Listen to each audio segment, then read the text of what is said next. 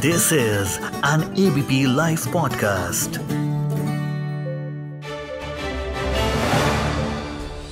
Hello and welcome to Clear Cut by ABP Live Podcast, a show tailored for the simple truth that there's nothing more important to a democracy than a well informed electorate. This is your newsman Rudrashish signing in on a wonderful Monday evening, and I hope you all had a great weekend. तो क्या आप लोगों को लगता है कि एक इंसान अपनी जिंदगी में सीधे रास्ते पर चल के 20 करोड़ रुपए कमा सकता है। वैसे मुझे तो लगता है कि मेहनत और लगन से ये बिल्कुल मुमकिन है। लेकिन आज के दिन में सच्चाई यही है कि मेहनत और लगन के रास्ते पर चलने वाले लोगों की संख्या कम हो गई है।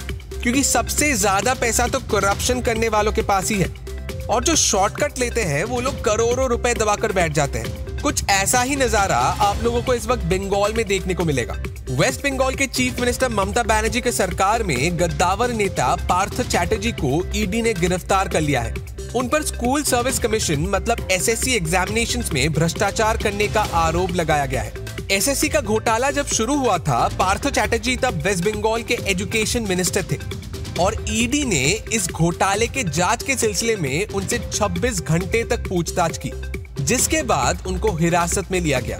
He has been charge under the provisions of the prevention of money laundering act ED ने शुक्रवार को कई जगहों पर रेड चलाई और इन रेड्स के दौरान पार्थ चैटर्जी के करीबी सहयोगी अर्पिता चैटर्जी के घर से 20 करोड़ रुपए बरामद हुई है। Can you people imagine 20 crore in cash ED ने खुद एक स्टेटमेंट में कहा है कि ये 20 करोड़ रुपए एसएससी स्कैम की आय है। तो आज लेक्चर न्यूज़ में हेल्प यू एक्सप्लेन कि बंगाल में चल रही ये एसएससी स्कैम आखिर है क्या? और ये पार्थ चैटर्जी आखिर कौन है? तो पहले आते हैं पार्थ चैटर्जी पर। तो बंगाल में जब स्कूल सर्विस कमीशन यानी एसएससी के ज़रिए शिक्षा विभाग में भर्ती के इरेगुलरिटीज का मामला सामने आया था, तब ये पार्थ चैटर्जी ही बंगाल के शिक्षा मंत्री थे।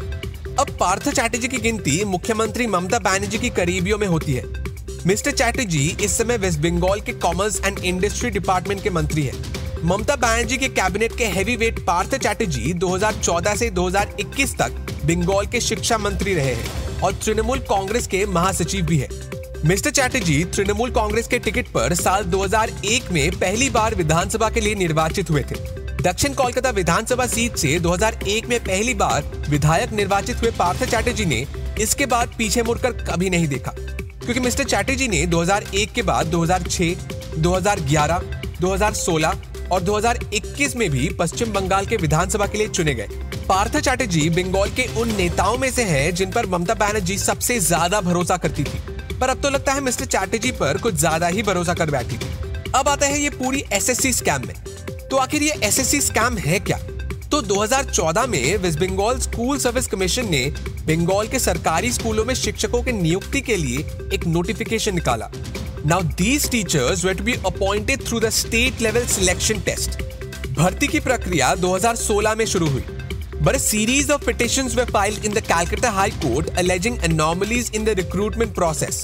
इन पिटिशंस में ये कहा गया कि एग्ज़ाम में कम मार्क्स आने वाले कैंडिडेट्स के नाम मेरिट लिस्ट पे उच्च स्थान पर थे दूसरी तरफ़ ये भी कहा गया कि कुछ कैंडिडेट्स जिनका नाम मेरिट लिस्ट में ही नहीं था उनको अपॉइंटमेंट लेटर्स भी मिला था अब एक दूसरे मामले में पश्चिम बंगाल सरकार ने 2016 में सरकारी स्कूलों के लिए तेरह हज़ार ग्रुप डी के स्टाफ को रिक्रूट करने के लिए एसएससी को सूचना भेजी थी।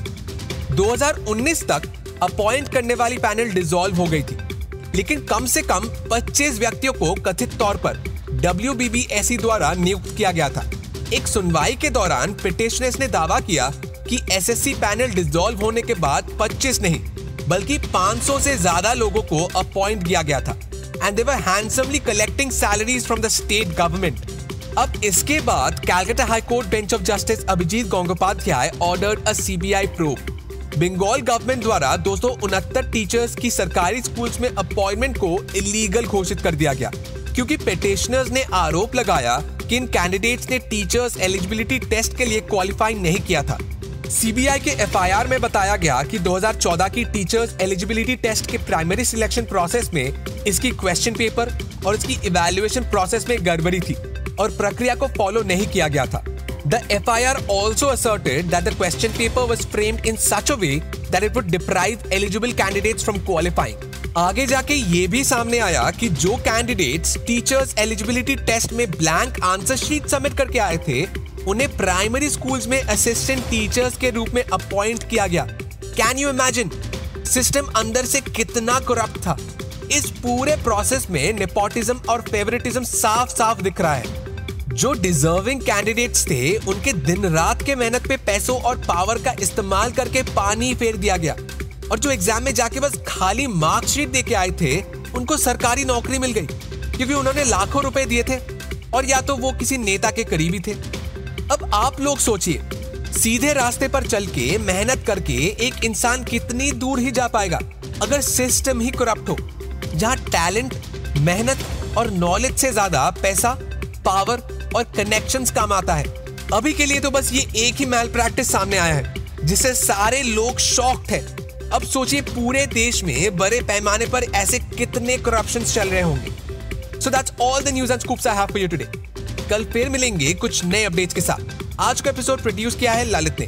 This is your newsman Rudrashish Kanjilal signing off have a wonderful evening and keep listening to ABP live podcast